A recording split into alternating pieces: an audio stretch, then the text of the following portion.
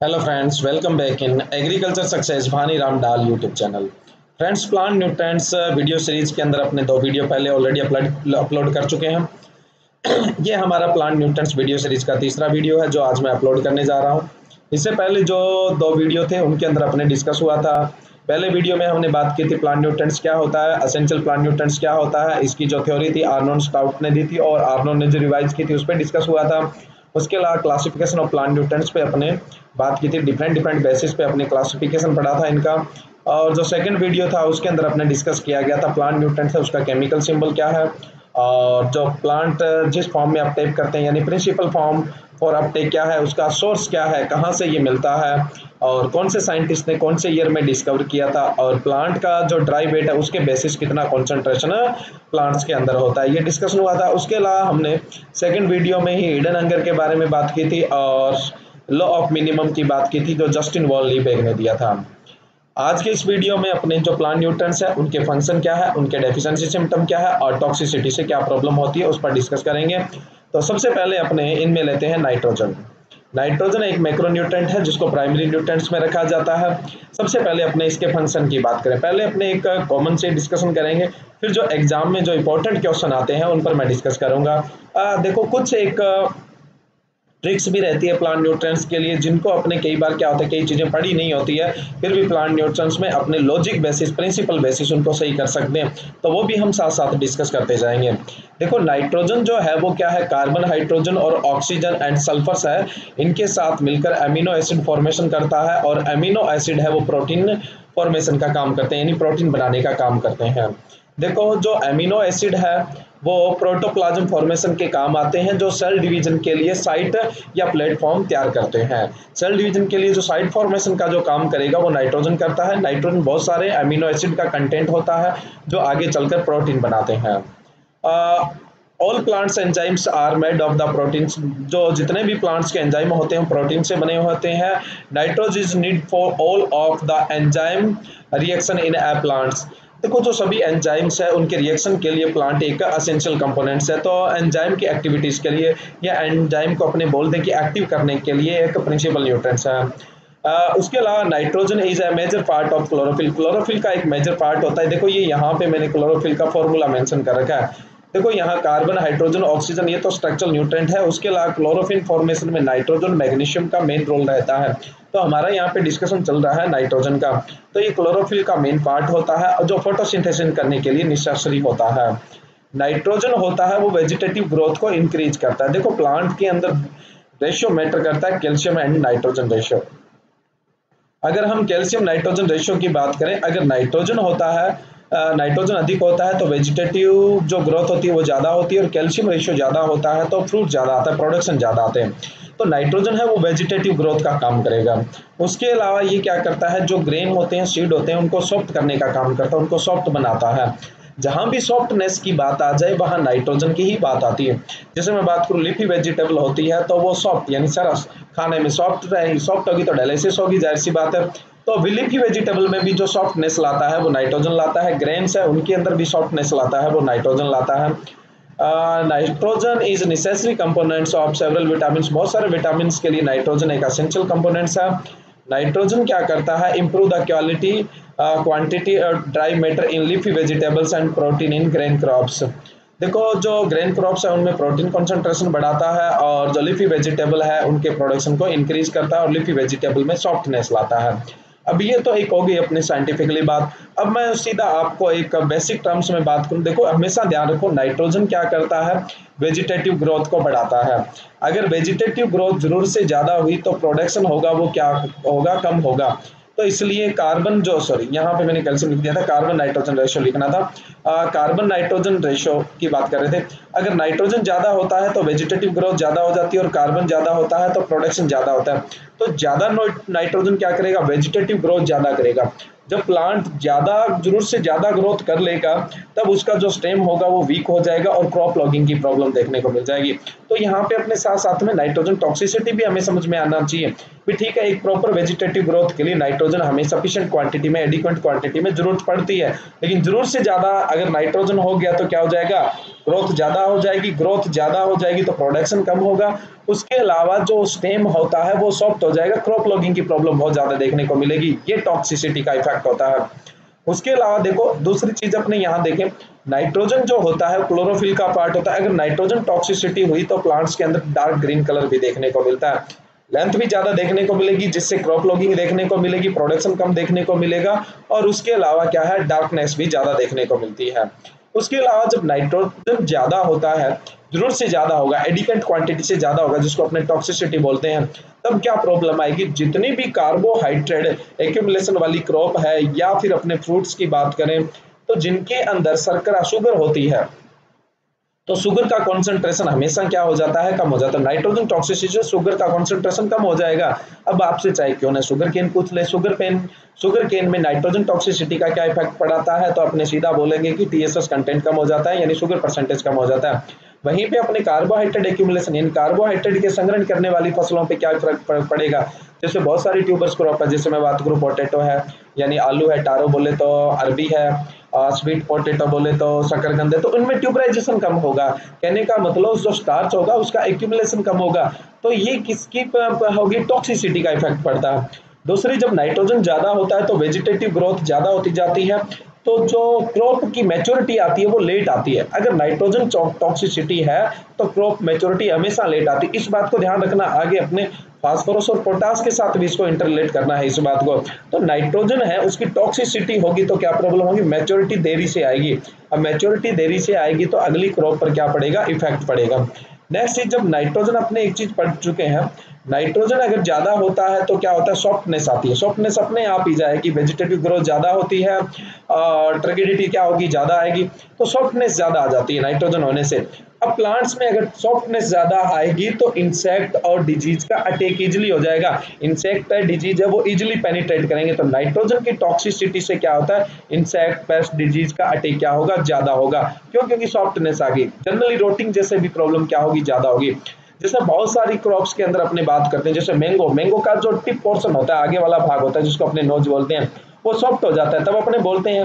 देखो, पहली बात तो जो सेल बॉल होती है, वो कैल्शियम की बनी होती है, वो आगे अपने डिस्कस करेंगे। दूसरी चीज़, देखो, कैल्शियम क्या होगा, कम होगा तो ये सेल बॉल कमज़ोर होगी। दूसरी, इसमें नाइट्रोजन ज़्यादा हुआ तो ये सॉफ्ट होगी।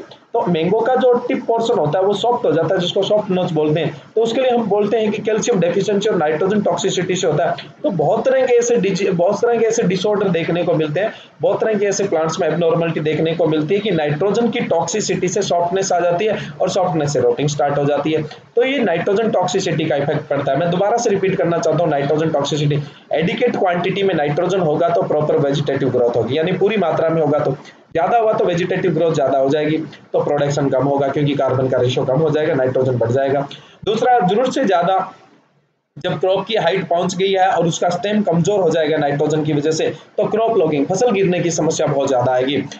अगर किसी प्लांट्स में नाइट्रोजन की टॉक्सिसिटी बढ़ गई है तो उसमें टीएसएस टोटल सोल्यूबल सॉलिड यानी शुगर कॉन्सेंट्रेशन क्या हो जाएगा, कम होगा। जिनमें कार्बोहाइड्रेट एक्यूमुलेशन होता है, उनमें कार्बोहाइड्रेट कम एक्यूमुलेट होगा। जैसे ट्यूबर प्रॉब्लम में ट्यूबराइजेशन क्या हो जाएगा? कम हो जाएगा।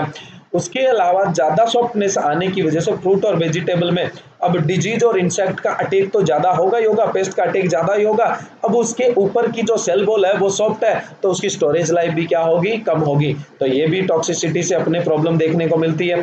तो जो उनकी सेल्फ लाइफ है स्टोरेज लाइफ है, वो ज़ाहिर सी बात है कम होनी है। डिज़ीज़ इंसेक्ट पेस्ट पे इनका अटैक क्या होना है? ज़्यादा होना है। तो ये नाइट्रोजन की टॉक्सिसिटी का इफ़ेक्ट रहता है। अब मैं बात करूँ नाइट्रोजन की डेफिशिएंसी देखो, नाइट्रोजन प्रॉपर वेजिटेटिव ग्रोथ करवाता है। अगर नाइट्रोजन की डेफिशिएंसी हुई तो कमी हुई तो नाइट्रोजन की प्रॉपर वेजिटेटिव ग्रोथ नहीं होने वाली। प्लांट की हाइट छोटी रह जाएगी, यानी प्लांट कैसा रह जाएगा? ड्वाफ रह जाएगा। उसमें स्टारवेशन डिज़ीज़ देखने को मिलेगा स्टारवेशन डिसऑर्डर देखने को मिलेगा। यानी हाइट छोटा रह गया बोना रह गया तो ये नाइट्रोजन डेफिशिएंसी है। दूसरा देखो नाइट्रोजन है, वो प्लांट्स के अंदर बहुत ज़्यादा मोबाइल है। होने को सॉइल में भी बहुत ज़्यादा मोबाइल है, लेकिन हम तो यहाँ प्लांट्स की बात करें। प्लांट्स में बहुत ज़्यादा मोबाइल है तो इसकी डेफिशिएंसी के जो सिम्टम है, वो ओल्ड लीफ पे दिखेंगे, नीचे की पत्तियों पे दिखेंगे। और जो नीचे की पत्तियाँ होती है, उनपे सिम्टम कैसे दिखते हैं? देखो, जैसे मान लो कि ये लीफ है।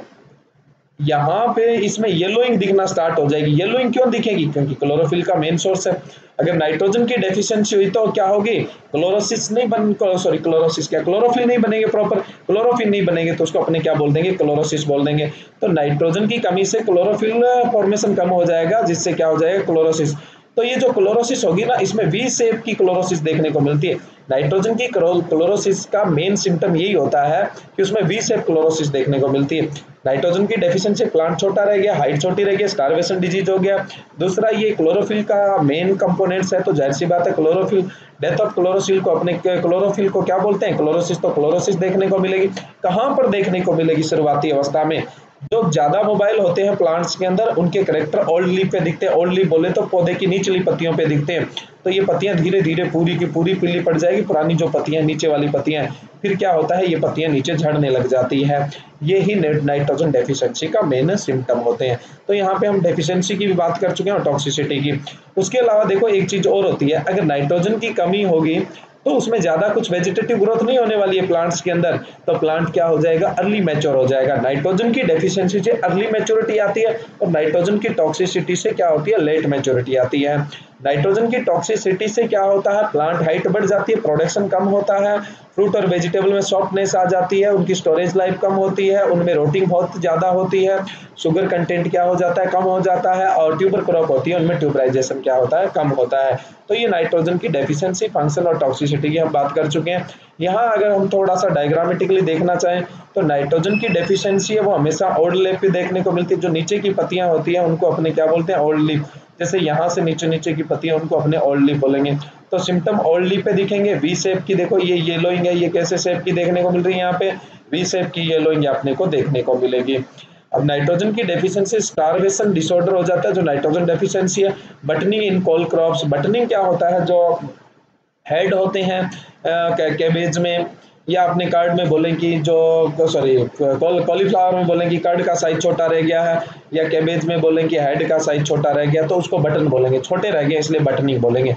तो जो बटनिंग होती है, वो नाइट्रोजन मेनली कैबेज के अंदर बटनिंग होती है नाइट्रोजन डेफिशिएंसी से होती है, और कई बार जो अर्ली वेराइटी उनको लेट लगाने पर अगेती किस्में देरी से लगाने पर देखो जो किस्में होती है, जिस, जो जनवरी में पकनी है, वो जनवरी में पकनी है, उसके लगाने का सही टाइम था मिड अक्टूबर लेकिन हमने नवंबर फ़र्स्ट वीक में लगाई है। तो 15 डेज़ अपने कम हो गए राइप तो वो सॉरी मैच्योर तो कब हो जाएगी? जनवरी में ही हो जाएगी। लेकिन उसके लिए ड्यूरेशन कम बचा तो वो प्रॉपर ग्रोथ नहीं कर पाएगी, उसका साइज़ छोटा रह जाता है, जिसको बटनिंग बोलते हैं। तो बटनिंग इन कैबेज बोलेंगे तो बटनिंग इन कैबेज और नाइट्रोजन डेफिशिएंसी और जो अर्ली वेराइटी है, उनको लेट लगाने की वजह से होता है। तो ये हमारे नाइट्रोजन की बात हो चुकी है। नेक्स्ट जो प्लांट न्यूट्रेंट है, वो है फास्फोरस ये भी मैक्रोन्यूट्रेंट में प्राइमरी न्यूट्रेंट है। एनपीके को अपने प्राइमरी न्यूट्रेंट बोलते हैं। ये typically concentration in the seed देखो सीड के अंदर देखने को मिलता है और उसके लिए इंपॉर्टेंट होता है। उसके अलावा फास्फोरस है, देखो development of the healthy root system root development के लिए फास्फोरस मेजर होता है। जो एग्ज़ाम को कवर करने वाले क्वेश्चन है, उनमें से एक क्वेश्चन है ये। फास्फोर रूट डेवलपमेंट के लिए फास्फोरस बहुत ज़रूरी होता है। नॉर्मल सीड डेवलपमेंट करने के लिए भी ज़रूरी होता है। यूनिफॉर्म क्रॉप मैच्योरिटी के लिए भी ज़रूरी होता है। हमने नाइट्रोजन के लिए क्या बात की थी? नाइट्रोजन की अगर डेफिशिएंसी होती है तो मेच्योरिटी अर्ली आ जाती है और नाइट्रोजन की टॉक्सिसिटी होती है तो मेच्योरिटी देरी से आती है। लेकिन फास्फोरस का जस्ट उल्टा होता है। अगर फास्फोरस की डेफिशिएंसी होती है तो क्रॉप मेच्योरिटी देरी से आएगी और फास्फोरस टॉक्सिसिटी होगी तो क्रॉप मेच्योरिटी क्या हो जाएगी? जल्दी आ जाएगी। जस्ट नाइट्रोजन के उल्टा होता है रेसिप्रोकल होता है। ऐसा ही पोटास के लिए होता है। अगर पोटास की डेफिशिएंसी है पोटास की डेफिशिएंसी है तो क्रॉप मेच्योरिटी देरी से आएगी और पोटास की टॉक्सिसिटी है तो क्रॉप मेच्योरिटी क्या हो जाएगी? जल्दी आ जाएगी। तो फास्फोरस और पोटास दोनों ही क्या करते हैं? नाइट्रोजन के अपोजिट काम कर रहे हैं। लेकिन यहाँ पे सबसे ज़्यादा जो इफ़ेक्ट पड़ेगा फास्फोरस और पोटास में, वो पोटास का ज़्यादा इफ़ेक्ट पड़ता है। हालाँकि ठीक है फास्फोरस यूनिफॉर्म मेच्योरिटी के लिए ठीक है, लेकिन अगर डेफिशिएंसी है नाइट पोटास की तो लेट मेच्योरिटी आएगी और फास्फोरस की डेफिशिएंसी है तो लेट मेच्योरिटी आएगी, लेकिन ज़्यादा इफ़ेक्ट किसका रहेगा? इस बात में पोटास का रहेगा। पोटास टॉक्सिसिटी है तो अर्ली मेच्योरिटी आएगी फास्फोरस टॉक्सिसिटी है तो अर्ली मेच्योरिटी लेकिन ज़्यादा इफ़ेक्ट किसका रहेगा? पोटास का। नाइट्रोजन डेफिशिएंसी है तो डेफिशिएंसी है तो अर्ली मेच्योरिटी आएगी टॉक्सिसिटी है तो क्या होगा? लेट मेच्योरिटी आएगी। तो पोटास है वो नाइट्रोजन के जस्ट अपोजिट काम करता है। तो अपने बोल सकते हैं नाइट्रोजन की डेफिशिएंसी और पोटास और फास्फोरस की टॉक्सिसिटी नाइट्रोजन की डेफिशिएंसी पोटास और फास्फोरस की टॉक्सिसिटी अर्ली मैच्योरिटी लाती है। और नाइट्रोजन की टॉक्सिसिटी और फास्फोरस और पोटास की डेफिशिएंसी है, वो लेट मैच्योरिटी लाती है। तो ये एक रिलेशन रहता है। उसके अलावा फास्फोरस और पोटास क्या करते हैं? नाइट्रोजन की जो टॉक्सिसिटी हो जाती है, उसको भी कम करते हैं। उसके अलावा आपने फास्फोरस की बात करें फोटोसिंथेसिस है रेस्पायरेशन है सेल डिवीज़न है, और जो भी मेटाबॉलिक एक्टिविटी है, उनके अंदर ये मेजर रोल प्ले करता है। जैसे जो है अपने बात करें कि फोटोसिंथेसिस वगैरह होता है रेस्पायरेशन वगैरह होता है तो एनर्जी ट्रांसपेशन और फॉर्मेशन किस फॉर्म में होता है? एडिनोसिन ट्राईफास्फेट तो फास्फेट लगा हुआ है तो ज़ाहिर सी बात है फास्फोरस क्या है? एनर्जी ट्रांसफ़र के अंदर मेजर न्यूट्रेंट्स है, इसलिए इसको एनर्जी करेंसी भी कहा जाता है। प्लांट की एनर्जी करेंसी है, वो फास्फोरस को कहते हैं। ये एनर्जी प्रोड्यूस करने में हेल्पफुल है, इसलिए इसको की ऑफ़ लाइफ भी बोल दिया जाता है। यानी फास्फोरस को अपने क्या बोलेंगे? की ऑफ़ लाइफ भी बोला जाता है। उसके अलावा डीएनए आरएनए है, उनका असेंशियल कंपोनेंट्स है, उसके अलावा फास्फोलिपिड्स है, उनका भी कंपोनेंट्स है। रूट जो नोडल्स होते हैं पल्सेस क्रॉप्स के अंदर जहाँ पर राइजोबियम बंद राइजोबियम जीवाणु रहते हैं, उनको भी संख्या को बढ़ाता है फॉर्मेशन को बढ़ाता है। मेनली इफ़ेक्ट तो रूट नोडल्स पे कोबाल्ट का पड़ता है, लेकिन फास्फोरस भी रूट का नोडल है या फिर नाइट्रोजन फिक्सेशन है, उसको इंक्रीज करता है। और डिज़ीज़ और इंसेक्ट पेस्ट के लिए भी रेसिस्टेंट जनरेट करता है। लेकिन ज़्यादा जो रेसिस्टेंट जनरेट करता है, वो पोटास करता है। पोटास का इफ़ेक्ट ज़्यादा होता है। अब अपने बात करें फास्फोरस की डेफिशिएंसी क्या हो? देखो फास्फोरस की डेफिशिएंसी अगर मैं आपको डायग्रामेटिकली शो करना चाहता हूँ तो फास्फोरस की डेफिशिएंसी से जो लीफ होती है, वो पर्पल कलर की हो जाती है। फास्फोरस की डेफिशिएंसी के जो सिम्टम होते हैं, वो ओल्ड लीफ में दिखते हैं, क्योंकि फास्फोरस प्लांट के अंदर हाईली मोबाइल न्यूट्रेंट्स है। हाईली मोबाइल न्यूट्रेंट्स के जो सिम्टम होते हैं, वो ओल्ड लीफ पे दिखते हैं और जो पर्पल कलर है, वो इसकी डेफिशिएंसी का मेन सिम्टम होता है। उसके अलावा देखो फास्फोरस डेफिशिएंसी से अपने पहले ही बात की थी मैच्योरिटी है, वो लेट होती है पुअर सीड फॉर्मेशन होता है फ्रूट डेवलपमेंट भी कमज़ोर होता है। उसके अलावा देखो फास्फोरस डेफिशिएंसी से ब्रोंजिंग हो जाती है। देखो, जो ब्रोंजिंग होती है, गौर करना इस बात पे आप। ब्रोंजिंग होती है, वो फास्फोरस डेफिशिएंसी से आती है या क्लोरीन टॉक्सिसिटी से आती है। लेकिन जो गुआवा है, अमरूद है, उसके अंदर जो ब्रोंजिंग है, वो जिंक डेफिशिएंसी से आती है। बाकी सभी में या तो फास्फोरस की डेफिशिएंसी मोस्टली फास्फोरस की डेफिशिएंसी से ब्रॉन्जिंग होती है। कभी कभार क्लोरीन टॉक्सिसिटी से हो जाती है, लेकिन गुआवा में जो ब्रॉन्जिंग होगी, वो जिंक डेफिशिएंसी से देखने को मिलती है। अब अपने टॉक्सिसिटी की बात करें, अगर फास्फोरस की टॉक्सिसिटी हो जाती है, कुछ माइक्रोन्यूट्रेंट जैसे आयरन जिंक और मैग्नीशियम की कमी हो जाती है और पर्टिकुलरली जो डेफिशिएंसी सबसे ज़्यादा देखने को मिलती है फास्फोरस की टॉक्सिसिटी से, वो कैल्शियम डेफिशिएंसी देखने को मिलती है। तो ये हमारा फास्फोरस का डिस्कशन हो गया है। फास्फोरस की डेफिशिएंसी से सिकल लीफ डिज़ीज़ डिसऑर्डर हो जाता है, जो फास्फोरस डेफिशिएंसी से देखने को मिलता है। नेक्स्ट अपने बात करें पोटास ये भी मैक्रो न्यूट्रेंट्स में प्राइमरी न्यूट्रेंट्स है। आ, देखो ये आयनिक फॉर्म के अंदर रहता है सेल के अंदर। और बहुत सारे जो ऑर्गेनिक कंपाउंड है उनकी डेवलप करने में इसकी मेन जो रोल रहता है। और किस चीज़ों के लिए रेस्पॉन्सिबल होता है? रेगुलेशन ऑफ़ वाटर देखो वाटर प्लांट के अंदर जो वाटर बैलेंस बनाने में पोटास क्या होता है? इंपॉर्टेंस देखो वाटर बैलेंस बनाता है प्लांट्स के अंदर पोटास उसके अलावा क्लोरीन उसके अलावा सोडियम ये वाटर बैलेंस बनाने का काम करते हैं। क्लोरीन को तो अपने ऑस्मेटिक एजेंट बोलते ही हैं। पोटास भी क्या करता है? वाटर बैलेंस बनाने का काम करता है। Disease resistant insect resistant pest resistant जहाँ भी आ जाए, वहाँ पे मेजर जो होता है, वो पोटास होता है और उसके बाद में थोड़ा फास्फोरस भी होता है। लेकिन जो मेजर होगा, वो कौन सा होगा? पोटास होगा। डिज़ीज़ रेसिस्टेंट की इंसेक्ट रेसिस्टेंट की पोटास सॉरी पेस्ट रेसिस्टेंट की, उसके अलावा इन्वायरमेंटल जो एडवर्स कंडीशन है या जो प्रॉब्लमेटिक सॉइल है एसिडिक सॉइल है सेलाइन सॉइल है, इनके लिए भी टॉलरेंट जनरेट करने का काम कौन करता है? पोटास करता है। उसके अलावा पोटास के लिए आप एक चीज़ और माइंड में रखिए कि पोटास क्वालिटी से रिलेटेड है। प्लांट्स के अंदर जो क्वालिटी जनरेट करता है, वो पोटास जनरेट करता है। स्ट्रेम को स्ट्रेंथ देता है। उसके अलावा जो सीड वगैरह होता है ग्रेन वगैरह होता है उसमें विगर्सनेस लाता है, यानी उसके ओज को बढ़ाता है। तो डिज़ीज़ रेसिस्टेंट कर रहा है स्ट्रेन को स्ट्रेंथ दे रहा है विगर्सनेस बढ़ा रहा है तो इससे क्वालिटी आएगी। तो क्वालिटी बोले तो पोटास क्वालिटी वाला कोई भी वर्ड आ जाए तो समझ लो कि वो पोटास से रिलेटेड है। उसके अलावा देखो फोटोसिंथेसिस में पार्टिसिपेट करता है ड्रॉट टॉलरेंट मैंने अभी बात की थी इन्वायरमेंट एडवर्स कंडीशन के लिए टॉलरेंट जनरेट करता है विंटर हार्डीनेस जनरेट करता है, ये भी तो इन्वायरमेंटल एडवर्स कंडीशन है प्रोटीन सिंथेसाइज का काम करता है। क्रॉप की क्वालिटी जहाँ भी क्वालिटी शब्द आ जाए, वहाँ पे अपने पोटास की बात करेंगे। जैसे नाइट्रोजन होता है, वो क्या करता है? स्टोरेज लाइफ कम करता है। पोटास है, वो स्टोरेज लाइफ इंक्रीज करता है। वैसे पोटास और फास्फोरस नाइट्रोजन के जस्ट अपोजिट काम करते हैं। अपोजिट का मतलब ये नहीं है कि यहाँ पे अपने विपरीत है। हम जनरली याद रखने के लिए बात कर रहे हैं। तो क्या है कि पोटास है, वो स्टोरेज लाइफ को इंक्रीज करेगा। उसके अलावा पोटास्टोमेटा क्लोजिंग और ओपनिंग जो पर्णरंध्र है, उनके खुलने और बंद रखने को नियंत्रित करता है। इसलिए प्लांट्स की जो ट्रैफ़िक पुलिस बोला जाता है, वो पोटास को बोला जाता है। की ऑफ़ लाइफ और एनर्जी करेंसी तो हमने फास्फोरस को बोला। और ट्रैफ़िक पुलिस जो प्लांट की है, वो किसको बोलते हैं? अपने पोटास को बोलते हैं। उसके अलावा सीड में विगर्सनेस जनरेट करता है, ये हमने बात कर ली थी। आ, देखो जो पोटास की डेफिशिएंसी है उसका जो मेजर सिम्टम होता है वो लिप्स क्रोचिंग होता है। देखो ये यहाँ पे लीफ के किनारे पूरी तरह से झुलस गए हैं इसको अपने लिप्स क्रोचिंग बोलते हैं। पोटास प्लांट्स के अंदर हाईली मोबाइल में आता है इसके सिम्टम ओल्ड लीफ पे देखने को मिलते हैं और ये देखो यहाँ पे स्क्रोचिंग देखने को मिलती है। तो इससे डेफिशिएंसी स्क्रोचिंग देखने को मिलेगी। उसके अलावा जो सीड और फ्रूट है वो स्मॉल साइज़ के रह जाएँगे स्मॉल साइज़ के रह जाएँगे। और अगर इसकी डेफिशिएंसी होगी तो डिज़ीज़ इंसेक्ट पेस्ट का अटैक ज़्यादा होगा इन्वायरमेंटल एडर्स कंडीशन का भी क्या होगा? ज़्यादा इफ़ेक्ट होगा। ज़्यादातर आपको जो पोटास की डेफिशिएंसी है, वो कहाँ पर देखने को मिलेगी? अगर सैंडी सॉइल है और वो एसिडिक नेचर की है कैल्शियम मैग्नीशियम ज़्यादा है तो पोटास डेफिशिएंसी देखने को मिलती है। अगर पोटास की टैक्सिसिटी हो जाती है तो क्या होता है? देखो, जैसे प्लांट के अंदर कार्बन नाइट्रोजन रेशो मैटर करता है, वैसे ही कैल्शियम और पोटास रेशो भी मैटर करता है। अगर पोटास की टॉक्सिसिटी हो जाती है तो कैल्शियम की डेफिशिएंसी देखने को मिलती है। तो ये पोटास की डेफिशिएंसी और टॉक्सिसिटी की बात हो गई। अब पोटास की डेफिशिएंसी से कुछ डिसऑर्डर हो जाते हैं, जैसे improper bunch filling in banana ये पोटास डेफिशिएंसी से होता है। रोस्टली ऑर्बिट ये भी पोटास डेफिशिएंसी से होता है।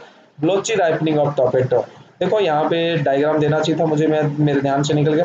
आगे अपने जब डिसऑर्डर की बात करेंगे तब बात करेंगे। कई बार देखा होगा टमाटर से एक साइड से पीला सा पड़ जाता है और उसमें छोटे छोटे से पीले पीले रंग के धब्बे देखने को मिलते हैं उसको ब्लोची राइटनिंग बोलते हैं। आ, तो ये पोटास डेफिशिएंसी से देखने को मिलता है। लीप बर्निंग या लीप स्क्रोचिंग जैसे मैंगो वगैरह में अपने बात करें तो पोटास डेफिशिएंसी से देखने को मिलता है। तो ये कुछ पोटास डेफिशिएंसी से डिसऑर्डर भी हो जाते हैं। नेक्स्ट अपने बात करें तो कैल्शियम देखो कैल्शियम में मैक्रोन्यूट्रेंट है, लेकिन इसको सेकेंडरी में रखा जाता है एनपीके को प्राइमरी में और कैल्शियम को सेकेंडरी में रखा जाता है। कैल्शियम का जो मेन काम है, वो सेल वॉल फॉर्मेशन है। सेल वॉल फॉर्मेशन के साथ साथ सेल की प्लास्टिसिटी और पेम्बिलिटी को भी क्या करता है? ये कंट्रोल करता है। अब इस बात से बहुत सारी चीज़ें। देखो क्लेक्सी एंड्रोट है ब्लोसम एंड्रोट है, बहुत सारे तरह के डिसऑर्डर आपको क्रॉप्स में देखने को मिलते हैं। तो उनके अंदर क्या होता है? सेल वॉल कमज़ोर होती है। सेल वॉल कमज़ोर या तो कैल्शियम डेफिशिएंसी से होती है या नाइट्रोजन टॉक्सिसिटी से ये बात आपको दिमाग में रखनी है। उसके अलावा कैल्शियम बहुत सारे जो एंजाइम है, उनको एक्टिवेट करने का काम करता है, लेकिन यहाँ मेजर क्वेश्चन जो बनता है एग्ज़ाम में, वो यहीं से बनता है। Cell wall formation cell wall की प्लास्टिसिटी और परमेबिलिटी को कंट्रोल करता है। उसके अलावा बहुत सारे जो प्लांट्स के अंदर ऑर्गेनिक एसिड बनते हैं, उनको डिटॉक्सिफाइंग या न्यूट्रलाइज करने में भी कैल्शियम का एक इंपॉर्टेंट रोल होता है। Calcium is essential for seed production in peanut जो मूंगफली होती है, उसके अंदर सीड प्रोडक्शन के लिए बहुत ज़रूरी है। अगर कैल्शियम की डेफिशिएंसी होती है तो मूंगफली अंदर से खाली रह जाती है, जिसको अपने पॉपिंग बोलते हैं।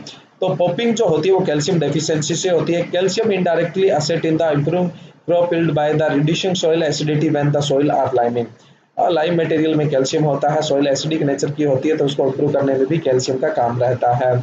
कैल्शियम की डेफिशिएंसी क्या होगी? पुअर ग्रोथ होगी रूट जो होगी, जड़ होगी, वो काली पड़ जाएगी और उसमें सडन स्टार्ट हो जाएगी।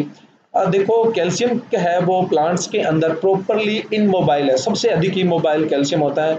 तो कैल्शियम की डेफिशिएंसी के जो सिम्टम दिखते हैं, वो हमेशा एपिकल बर्ड पे दिखते हैं। बोरोन और कैल्शियम दोनों ही प्लांट्स के लिए अंदर इमोबाइल है, लेकिन सबसे ज़्यादा जो इमोबाइल होता है, वो कौन सा होता है? कैल्शियम होता है। तो इसकी जो टर्मिनल बड होती है, वो क्या होती है? प्रॉपर ग्रोथ नहीं कर पाती है और उसके अंदर हुकिंग स्ट्रक्चर बन जाती है। यानी इस तरह की स्ट्रक्चर बन जाती है आगे अपने डायग्राम में। देखो तो ये कैल्शियम डेफिशिएंसी का मेन सिम्टम होता है।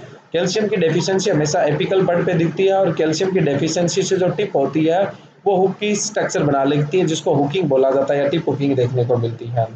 उसके अलावा एसिड जो चॉइल होती है, उसमें ही कैल्शियम का लेवल क्या होता है? लो होता है और और ज़्यादा कोई विशेष इफ़ेक्ट देखने को नहीं मिलता है। कैल्शियम की डेफिशिएंसी वैसे ज़्यादातर फ़ील्ड में ज़्यादा नोट नहीं की जाती है, लेकिन फिर भी अगर कैल्शियम कैल्शियम की टॉक्सिसिटी ज़्यादा नोट नहीं की जाती है और ज़्यादा देखने को सिम्टम देखने को मिलते नहीं है, लेकिन फिर भी अगर कैल्शियम की टॉक्सिसिटी हो जाती है तो पोटास की डेफिशिएंसी देखने को मिलती है। अब देखो कैल्शियम की अपने डेफिशिएंसी बता दी है कि ये टिप पोर्शन पे एपिकल पोर्शन पे होता है, क्योंकि ये हाँ मतलब क्या है इमोबाइल होता है, सबसे ज़्यादा इमोबाइल कैल्शियम होता है, उसके बाद बोरोन होता है। और कैल्शियम की डेफिशिएंसी से टिप बुकिंग हो जाती है। अब कैल्शियम की डेफिशिएंसी से बहुत तरह के जैसे डिसऑर्डर है। एक चीज़ ध्यान रखो, कैल्शियम और बोरोन की जो डेफिशिएंसी है, वो हमेशा एपिकल बर्ड पे दिखती है। एपिकल बर्ड के बाद सबसे ज़्यादा फ्रूट्स पे दिखती है। आप देख लेना, कभी भी फ्रूट्स और वेजिटेबल्स जब आप पढ़ोगे तो जो फ्रूट है, यानी मैच्योर ओवेरी है उस पर सबसे ज़्यादा जो डिसऑर्डर होंगे वो बोरोन और कैल्शियम डेफिशिएंसी से होंगे। तो कैल्शियम और बोरोन के जो सिम्टम है डेफिशिएंसी के, वो एपिकल बर्ड पे दिखेंगे और उसके बाद सबसे ज़्यादा फ्रूट पे दिखते हैं। तो फ्रूट में देखो, बहुत सारे डिसऑर्डर देखने को मिलेंगे अपने। सबसे पहले अपने बात करें क्लैक्सी एंट्रोट इन ग्रेप्स एंड परसिमोन अंगूर व परसिमोन का क्लैक्सी एंट्रोट ये कैल्शियम डेफिशिएंसी से होता है। यहाँ पे डायग्राम फिर मैंने नहीं दिया, लेकिन वो डिसऑर्डर में अपने बात करेंगे। अंगूर वगैरह है, उनका ये पार्ट होता है, उसमें रोटिंग स्टार्ट हो जाते हैं, जिसको क्लैक्सी एंट्रोट बोलते हैं। नेक्स्ट है bitter pit of cracking in apples apple में ऐसे कड़वे से धब्बे बन जाते हैं और उसमें क्रैकिंग देखने को मिलती है, ये भी कैल्शियम डेफिशिएंसी से देखने को मिलती है। हाइपोकोटाइल क्रैकिंग या necrosis in French bean French bean बोले तो राजमा, ये भी कैल्शियम डेफिशिएंसी से होती है, जो हाइपोकोटाइल जर्मिनेशन के टाइम निकलता है, उसके अंदर क्रैकिंग देखने को मिलती है। वो कैल्शियम डेफिशिएंसी से ही होता है। पिल्लो ऑफ़ कुकुम्बर, खीरे का पिल्लो। पिल्लो का मतलब है यहाँ पे जो खीरा होता है वो सॉफ्ट हो जाता है। जिसे कुछ रीजन में सॉफ्टनेस को पिल्लो भी बोला जाता है। तो कैल्शियम डेफिशिएंसी है, ज़ाहिर सी बात है सेल वॉल कमज़ोर होगी तो फ्रूट क्या हो सकता है? सॉफ्ट हो सकता है। तो सॉफ्ट होने क्यों ही पिल्लो बोलते हैं तो ये भी कैल्शियम डेफिशिएंसी से होता है। टिप होंगिंग बीसी में भी आ जाए, टिप होंगिंग हमेशा कैल्शियम डेफिशिएंसी से ही होगा। नेक्स्ट है blossom end rot in tomato tomato में नहीं, बहुत सारे क्रॉप जैसे मैं बात करूँ वाटरमेलन में भी होता है। ये जो पार्ट होता है, इसमें रोटिंग स्टार्ट हो जाती है, जिसको ब्लॉसम एंड ड्रॉट बोलते हैं। ये कैल्शियम डेफिशिएंसी से होता है, उसके साथ साथ हाई टेम्परेचर और इरेगुलर मॉइस्चर सप्लाई की वजह से भी हो जाता है। कैविटी स्पॉट इन कैरेट जो यूरोपियन कैरेट होता है यूरोपियन कैरेट बोले छोटे साइज़ की, जो येलो कलर की होती है, उनके अंदर क्या होता है, यहाँ पे ऐसे छोटे छोटे से कट से लग जाते हैं मतलब ऐसे छोटे छोटे स्पॉट से बन जाते हैं, जिसको कैविटी स्पॉट बोलते हैं। ये कैल्शियम डेफिशिएंसी और नाइट्रोजन की टॉक्सिसिटी से और सॉइल मॉइस्चर इम्बैलेंस के कारण होता है। ये भी सेल वॉल कमज़ोर होने की वजह से ही होता है। टी पुकिंग इन कॉलीफ्लावर बीट टोबेको किसी में भी टी पुकिंग हो, पीछे डायग्राम भी अपने बात की कैल्शियम डेफिशिएंसी से ही होगा। ब्लॉसम एंड रोट हमने पीछे टोमेटो में बात की है सेम का सेम डिसऑर्डर है। यह भी calcium deficiency high temperature irregular moisture की वजह से। पॉपिंग मूंगफली में दाना नहीं बनता, उसको पॉपिंग इन ग्राउंडनट बोलते हैं, ये भी किसकी डेफिशिएंसी से होगा? कैल्शियम डेफिशिएंसी से होगा। तो आज हमने अभी तक चार न्यूट्रंस कवर किए हैं। नेक्स्ट वीडियो में जो बाकी न्यूट्रंस बचे हैं, उन पर डिस्कशन करेंगे। अगर दोस्तों वीडियोस पसंद आ रहे हैं तो शेयर कीजिए लाइक कीजिए और चैनल को सब्सक्राइब कीजिए। Thank you